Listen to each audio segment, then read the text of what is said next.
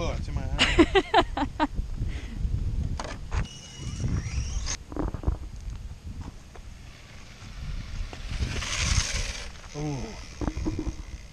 Uh-oh. It's making a weird noise. Yeah,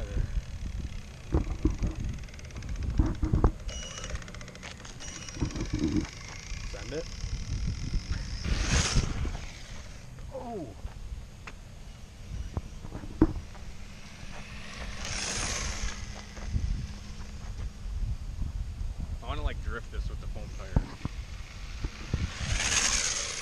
Ooh.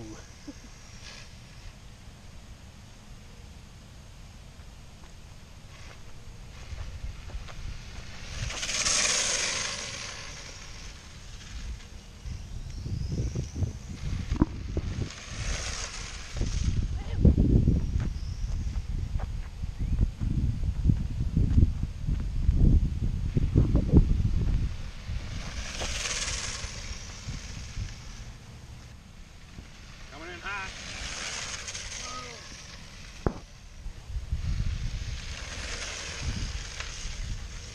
Yeah, man. I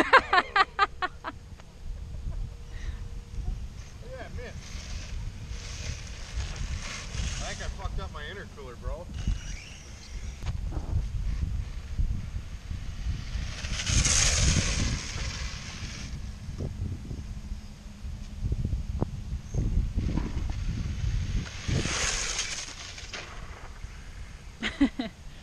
Uh, other RCs that I have. This is a HPI Blitz. She's just over there having a hoot.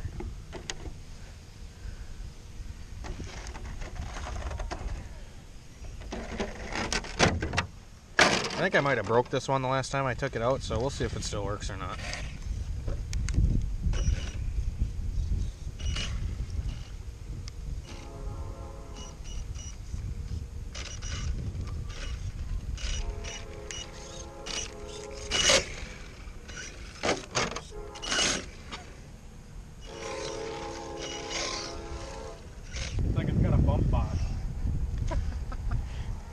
Like it's got a bump box.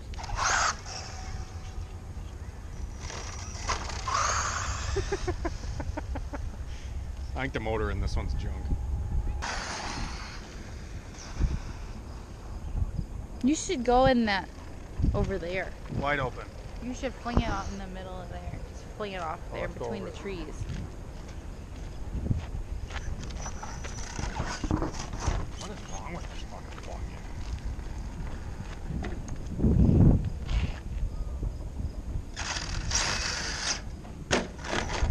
Just fling it off there.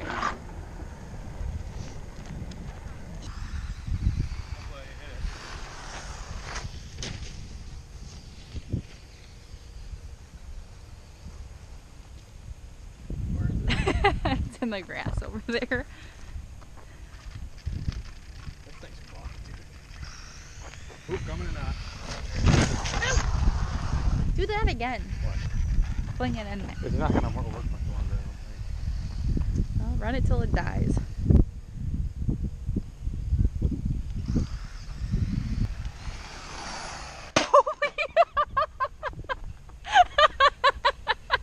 I think I.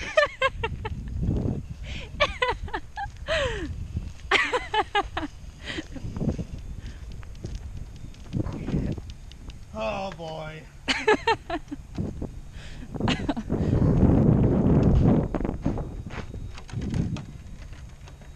What happened? oh, the motor wires came off.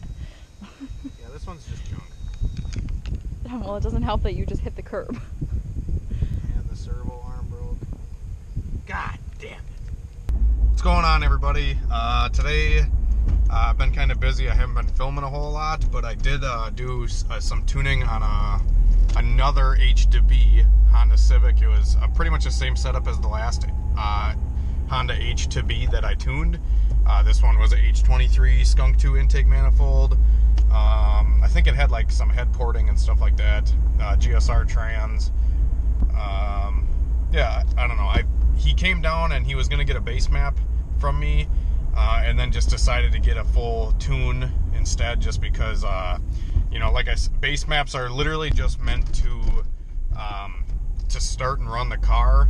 Uh, sometimes my base maps, because I've tuned quite a few Hondas, uh, I have a lot of good maps already made, and sometimes similar, or uh, sometimes setups are so similar that you can just get a base map from me and they work out great. Uh, and you honestly could probably just run the thing and it'd be completely fine. Um, but I always recommend getting a full tune because, like I said, every engine could be a little bit different. You never know. Uh, sometimes a different intake manifold or uh, head, you know, cylinder head or whatever can make a huge difference on the tune. Or if your car has issues like a big vacuum leak or a sticky idle air control valve or anything like that, any mechanical issues, or if you have a check engine light on, anything like that can alter a base map. So uh, I'm kind of getting sick of accused and blamed for um, not supplying a good tune when uh, people expect like the world out of a base map. Uh, just because a base map is not meant to go to the track and run the best time you ever ran or make the most horsepower. It's literally meant to start and run the car. To find issues like vacuum leaks or oil leaks or anything like that. So I'm just trying to clear some of this stuff up for you guys because I've had um, I've been pretty busy lately with tuning cars, and I wanted to just kind of clarify the difference between a base map and a um, street tune or a full tune. Maps, like I said, meant to start and run the car to help you find your issues or whatever. Like if you have vacuum leaks or exhaust leaks or whatever, um, a base map is kind of me- meant to be there so you can start the car and fix your issues, uh, and then maybe drive it to the tuner or trailer it to the tuner or whatever. Full tune um, pretty much is me in the car live tuning the car. So if there is issues with the map that I gave you or a base map, uh, this is kind of for fine tuning. Uh, I set the air fuel ratio where it's supposed to be in every situation. So idle, cruising around, wide open throttle, um, and then I set a base ignition um, where pretty much all Hondas are happy. Uh, I don't usually need a dyno when I'm tuning Hondas just because uh, I've done so many of them that they uh, the ignition is always the same. It never usually changes or anything with, especially with like all motor car. Hopefully that kind of makes sense and uh, helps anybody looking for a tune or if they need a tune, a difference between a base map and a uh, full tune.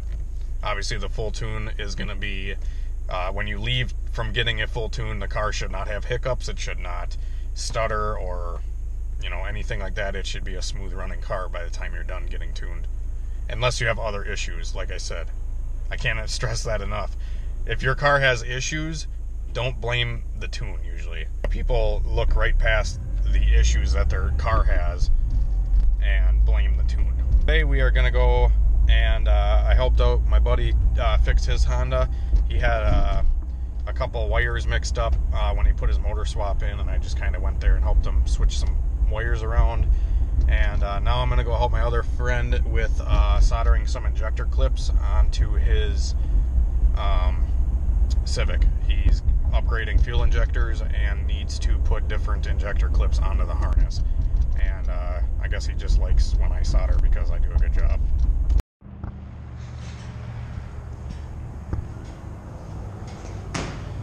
All right. So what the fuck are we doing today? Injectors. We're gonna wire uh, new pigtails onto this harness here. Yep. Oh, you got some new engine mounts. Yeah, you like those? Yeah, those are uh, pretty fancy. They're stiff as shit, dude. Yeah, 61 good. bucks. Good, good. Sixty bucks. Not too bad. Just trying to run the heat shrink thing. All right, so uh, what are we gonna need to do this job? We're gonna need uh, my soldering iron. Uh, this is a really nice soldering iron. It's I got it from Hobbytown USA. It's a Trakpower TK950. It's adjustable temperature. This thing heats up in the blink of an eye. We're gonna need some solder, and we're gonna need a lighter for our heat shrink. Where the fuck's the heat shrink, Michael? Sorry. Okay. And some heat shrink. I'm gonna start filming some stuff on Michael's car here. Better turn that music off. YouTube YouTube's gonna yell at me. So this is a what year is this thing? A 98? Oh, it's a 2000. Fancy. Uh, super clean EK coupe minus the clear coat. It's kind of like the Mustang. It's red and uh, has clear coat fading. Imagine that. Uh, this is the motor that was in it. Uh, it looks mint. A nice uh, Nice, nice block here. Uh, it grenaded because he drove it through a puddle. Yeah. I don't even know where the broken rod went. They're, uh, at. Oh, whatever. One two bad. Oh, look at that fucking girdle. Yeah, that's. I'd, I'd run that. Oh, you know what's busted? You, You know what's funny is you probably could still use this. you gotta get this. There's, Oh, there's the- supposed to be a lip there. Yeah, yeah. Honestly, it's funny because the uh, when these crank pulleys actually get chips in them, it'll unbalance the whole motor, and you can spin rod bearings. I've done it. That block was cracked when we put it to uh, when it was in the car, and it was leaking oil. So I just JB welded a bunch of uh, uh, RTV and JB weld on it, and uh, it fixed the leak for a while. And then he drove it through a puddle, and water broke through the JB weld, and uh, yeah. But yeah, here's the chunk that we JB welded. Yeah, looks mint. So he currently has a car. It's a two. Uh, what's the other one? The white one. 98 Honda Civic with a turbo single cam. Has made like 250 wheel horsepower for like seven years now. It's like an indestructible motor, and, and he's trying to make more horsepower. Um, so, and then he's going to swap everything into this shell. So we're going to be wiring injector clips on it because he's going he's got some thousand cc injectors, right? Yeah. thousands. And we're gonna wire the clips onto here. Oh yeah, same intercooler as I got.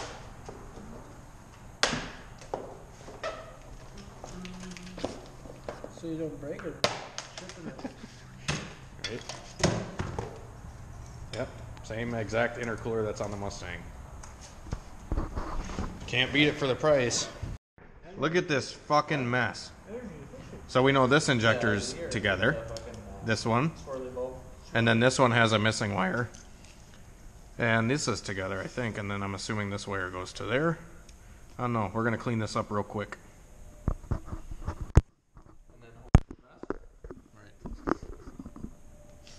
Time lapse. Dude, it's, it's crazy how much you can like.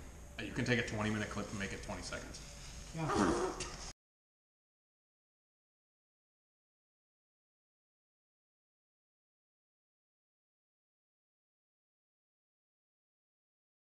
All right, so we got this harness kind of done. We're just going to tape all of it together, and it'll look like a brand new harness. We got the new injector clips on, and uh, yeah, she's going to be ready to rip. Yeah.